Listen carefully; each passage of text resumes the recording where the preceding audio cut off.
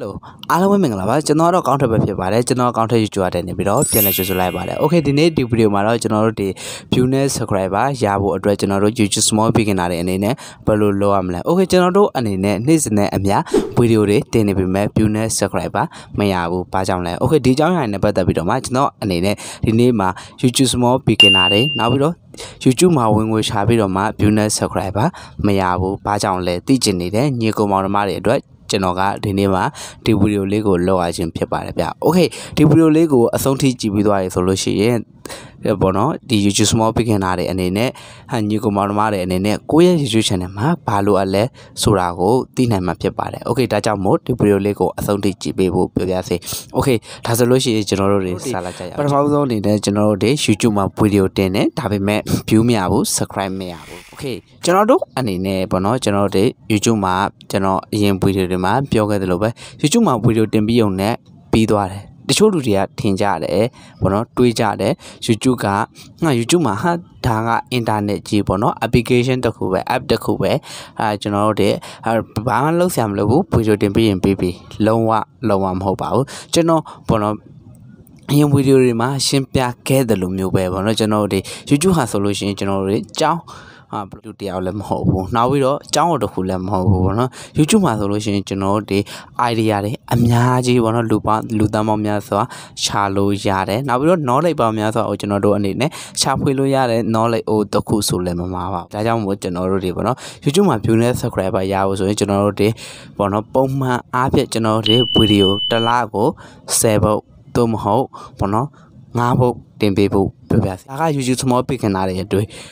YouTube small beginner တွေနောက်ပြီးတော့ content များများမထုံးနိုင်တဲ့မိတ်ဆွေတငယ်ချင်းညီကိုမောင်နှမတွေအတွက်ကျွန်တော်ကဒီနေ့မှာလာပြီးတော့မှဘောနော် view နဲ့ subscriber ရဖို့အတွက်ကျွန်တော်တို့ဘယ်လိုစီမံခန့်ခွဲမလဲပေါ့ okay ကိုယ့်ရဲ့ YouTube channel မှာဆိုပါစို့ကိုယ့်ရဲ့ YouTube channel မှာတပတ်တင်လိုက်ပြီ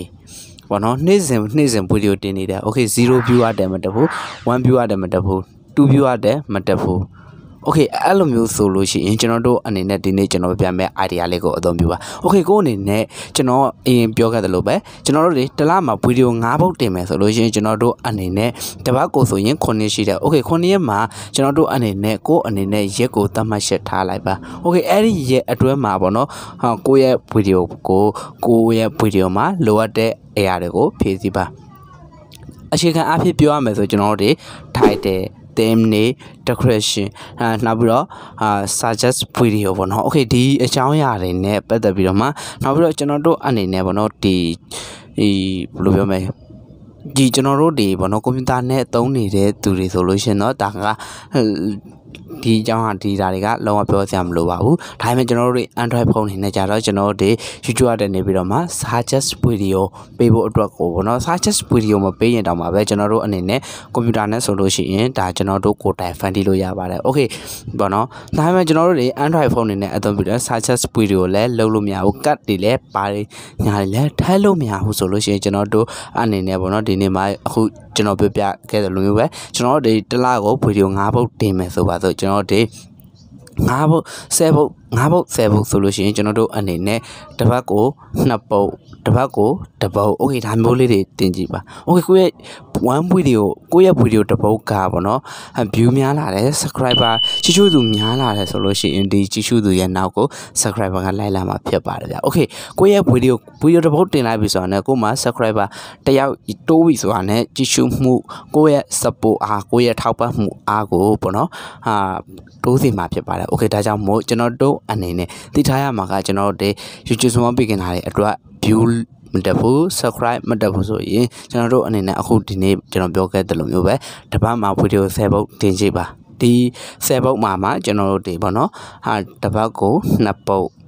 တပတ်ကို3ပုံ okay စသဖြင့်ဒါမျိုးလေးတွေတင်ကြည့်ပေးဖို့ပြောပြစေ okay YouTube မှာဆိုလို့ရှိရင်ကျွန်တော်တို့တလားမှာဗီဒီယို၄၅6ပုံတင်ရုံနဲ့လုံလောက်ပါပြီ okay လုံလောက်ပြီဆိုတာတက်ကျွန်တော်တို့ဒီထက်ပိုပြီးတော့တင်ရင်လည်းမရဘူးလားဆိုတော့ရနိုင်ပါတယ်ဒီထက်နည်းနည်းတင်ပြီးတော့မှဒီထက်နည်းပြီးတော့မှတင်ရင်လည်းမရနိုင်ဘူးလားဆိုတော့လည်းရနိုင်ပါတယ်ဒါပေမဲ့ကျွန်တော်တို့ YouTube audio ပေါ့နော်ကိုက YouTube อ่ะမှာကိုရဲ့ YouTube channel ကအလုံးလုံးနေတယ်ဆိုတော့ကိုပေါ့နော်ကျွန်တော်တို့အနေနဲ့မြင်အောင် ဘောနော်အထူးသဖြင့်ကိုယ့် subscriber လောက်ထားတဲ့သူတွေခဏခဏတတိထားမိအောင်တင်ပေးပါโอเคဗီဒီယိုတစ်ခုမဟုတ်တစ်ခုသူတို့ကြိုက်လာတဲ့အခါမှာကိုယ့်ရဲ့ဗီဒီယိုတွေကိုအားပေးလာပါလိမ့်မယ်โอเคဒါကြောင့်မို့ view နဲ့ subscriber ရဖို့အတွက်ဆိုရင်ဒီနေ့မှာကျွန်တော်ပြောတဲ့ဗီဒီယိုတင်ခြင်းပေါ့နော်